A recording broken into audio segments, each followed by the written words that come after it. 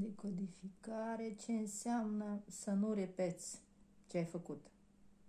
Ești rugat, rugată să nu repeți un fel de greșeală ce ai făcut. Și răspunsul care? Greșeli nu există. Perpetuum mobile. Asta e viața. Asta e să faci până n-ai să înțelegi că greșeli nu există. E să repeți. Greșeli nu există. Și să te simți bine și în greșeli. Să te simți bine în orice să înțelegi. Echilibru. Ok, acolo.